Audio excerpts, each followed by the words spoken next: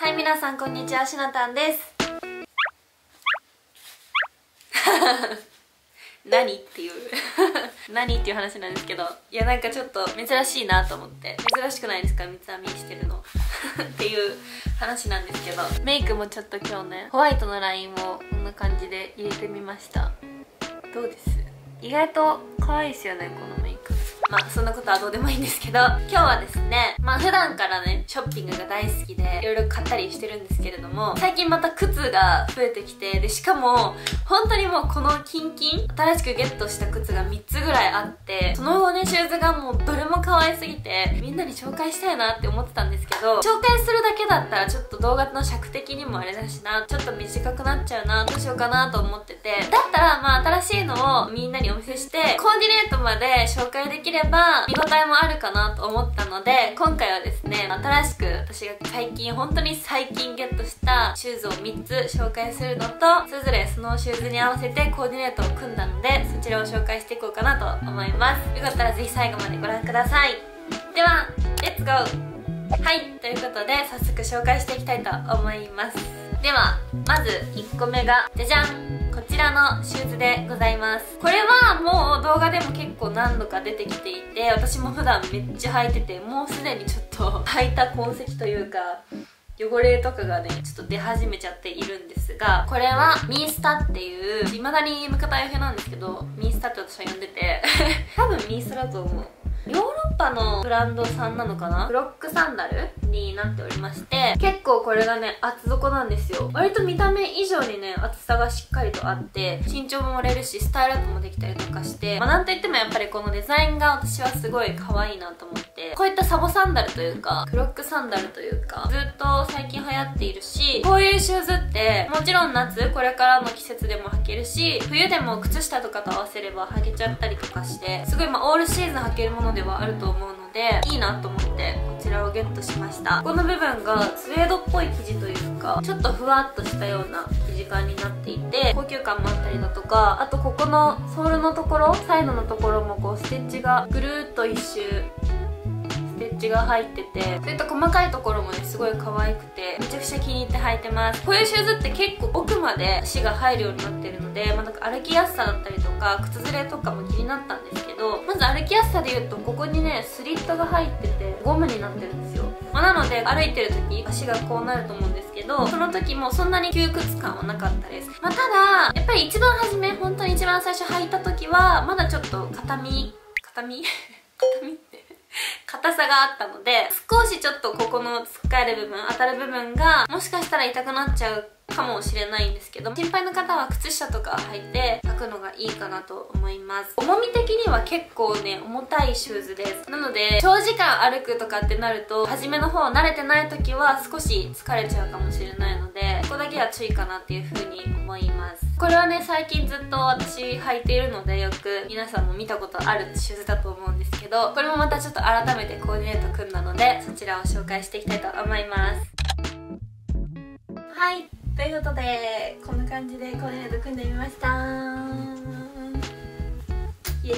ちょっと癖強な感じだと思うんですけれどもこのシューズがね星柄で厚底のサンダルということなんですけどやっぱりこのシューズに私はデニムをね合わせたいなと思ってとってもワイドなゆったりとしたデニムを合わせました。ダボっとしてる感じがこのシューズともバランスが取れるんじゃないかなと思ってこのパンツにしたんですけれどもそれに普通に白 T を合わせてます。やっぱこの白 T にデニムって何でも合うと思うのでデニム白 T だけでも可愛いかなと思ったんですけどちょっとこの何て言うんでしょうグランジっぽいというか何て言うんだろうな海外のちょっとやんちゃガールみたいな感じの印象のあるシューズかなって私は思ってるので小物使いとかもちょっと海外風っぽくやってみました。こんな感じでバンダナを巻くのもすごい海外っぽい印象が出ると思うのでこういったヘアアレンジもおすすめですしこのサングラスもね結構必だと思うんですけどキャットアイのサングラスこんな感じでね合わせてみました。でバッグはこちらのちっちゃいブラックの。バッグ。でこのバッグ本当に何でもね合わせやすいのでちょっとバッグどうしようかなっていう時とかもこれ持つと一気に可愛くなったりするのでこちらを選んでみました。はいということでこちらの牛柄のサボサンダルを使ったコーディネートはこんな感じでございます。ははいでは続きまして2つ目のシューズがじゃじゃん。こちらでございます。ピンクのねピンヒールをゲットいたしました。これはアクレントっていうブランドさんのやつでこの前私アクレントの展示会にご招待いただいてお邪魔してきたんですけれどもその時にゲットしたシューズになっております。最近私ねヒールを結構買うようになってちょっとまあ大人の女性にもなってきましたしこういうピンヒールとかなんかまあ練習じゃないですけど今まで本当に履いたことがなかったので全然。それも兼ねてちょっとピンヒール今後履いていきたいなと思って大人の女性になるために。大人の女性になるためにピンヒールが必須ってわけではないと思うんですけどまあでもそうなんかちょっと1個か2個か持っておいてもいいのかなと思ってゲットしました。これは本当にデザインが可愛くてこんな感じでパフサンダルというかふわふわとしたスポンジのような素材のものがここについててすごいインパクトが出て可愛いんですよ。多いのはここら辺はねレザーだったりとかこういうちょっとサテンっぽい感じの素材のヒールっていうのは多いと思うけどこういう異素材が使われててしかもこのボリューム感のあるデザインになっているのでそれがすごい可愛いなと思ってこちらゲットしました。やっぱここの部分何て言うんだろうここ。私あんまり名称がわからないんですけどこの部分。この部分が弾力性のある柔らかい感じの素材でできているので靴ずれの心配もあんまりないなっていう感じがしました。ただこれがねスポンジっぽい感じのメッシュっぽい感じの素材って言えばいいのかな？になってるのでなんかそれが苦手な方もいると思うんですよ。もちろん。チクチクしちゃうというか素材的にあまり合わない方もいるのかなっていうふうには思います。でヒールはだいたい9センチって言ったかな？でつま先はスクエアトゥーになっててとても可愛いし。まあでもやっぱこの色に私は惹かれたかのピンク私最近ハマっているので今ちなみに足のネイルもピンクなんですけど。差し色になったりとかもするのでシンプルなお洋服の時とかにこれ1個だけポンって入れてあげても可愛いと思います。まあピンヒール私も初心者なのでまだ慣れてなくって。やっぱり普通のヒールとかに比べると歩く時がふらつきやすいなっていうのはあるのでこれから練習して綺麗に履けるように歩けるように頑張っていきたいと思います。ではこちらを使ったコーディネート紹介していきます。はいじゃじゃーん。コーディネート組んでみました。じゃん。すごくデザインのあるヒールだしとても色味が可愛いのでめちゃくちゃねインパクトのあるヒールだと思います。で今回こんな感じで今私がちょっと気になっているカーゴパンツとミニティを合わせてみました。でもこのカーゴパンツは全然こうハイウエストにしても履けるんですけどこの T シャツに合わせて腰を落として履いて絶妙な丈感を作ってあげるっていうのがちょうどいい露出感というかになるかなと思って腰を落として履いております。このカーゴパンツもチャコールっぽい感じの色味だったりこの T シャツもちょっとグレーっぽい感じの色味になっていてこちらもくすんだような色味になっているのでここにこうパキッとしたカラーとかを差し色で持ってきてあげることで一気にコーディネートが華やかになると思うしなんかちょっと地味だなとかそういうのも少なくなるかなと思うのでこういった色味とかに合わせてあげても生えて可愛いんじゃないかなと思います。もちろんデニムとかと合わせてもすごく可愛いと思うのでまたそんな感じでもコーディネート組めればいいなというふうに思います。で私もよくやるんですけどバッグとシューズの色味を合わせてあげることでコーディネートに統一感が出たりとかすごいおしゃれに見えるのでこういうところをね色を合わせてあげたりとかあとはちょっと髪の毛も変えてみました。こんな感じで触覚ヘア最近ちょっとハマりつつあるんですけどすごい簡単で個性的なヘアスタイルになるのでおすすめです。こちらも。ということでこんな感じでコーディネート組んでみました。はい。では続いてでラストでございます。ラスト3つ目がじゃじゃん。こちらでございます。このヒールマジで可愛いんですよ。本に気に入ってて届いた瞬間に速攻ストーリーにあげたんですけど マジでデザインがドタイプすぎてこちらゲットしました。ちなみにこれが YELLO シューズっていうところのやつでございます。 YELLO。多分聞いたことある方もいるんじゃないかな。 YELLO。YELLO かな？ YELLO。YELLO。YELLO。みたいな感じ。です。そう。で、まあ、デザインはこんな感じになっております。でこれもねピンヒールですね。多分こっちの方がヒール高いんじゃないかな。9.5ぐらい書いてあった気がするサイトに、うん、若干さっきのよりも高いくらいですね。ただこっちにはこの後ろにストラップがついているので、まあ、よりこう安定感はあるかなっていう風に個人的に思いました。でやっぱこのフロントデザインですよね。このレースアップ。これが、まあ、ちょっとスニーカーっぽい感じじゃないですか。サイドのところとかもね。スニーカーっぽい感じなんだけどヒールっていうこのギャップがマジで私ドタイプすぎて見つけた瞬間速攻で頼みました。でカラーバリがねブラックとなんかちょっとブラウンっぽい感じのやつとイエローっぽい感じのとホワイトが確かあったんですけどもうめっちゃ迷ってブラウン系のやつもすっごい可愛かったんですよ。イエロー系のやつも。その3つぐらいで私迷ってて。あでもただ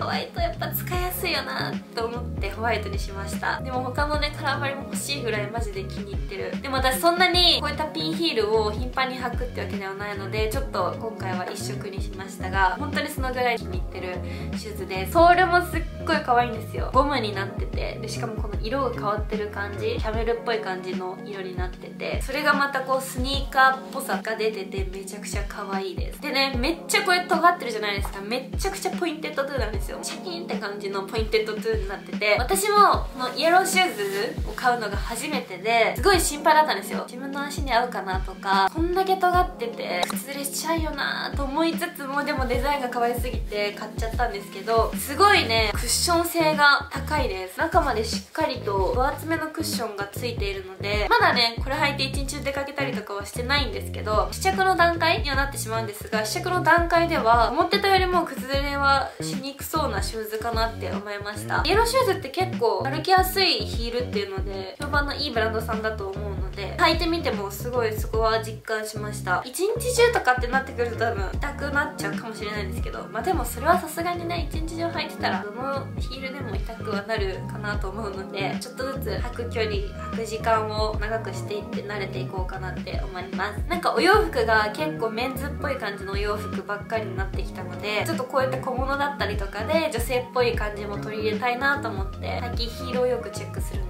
けどすごい可愛いドタイプのものを見つけられてハッピーでございます。はいということでこちらを使ったコーディネートを紹介していきます。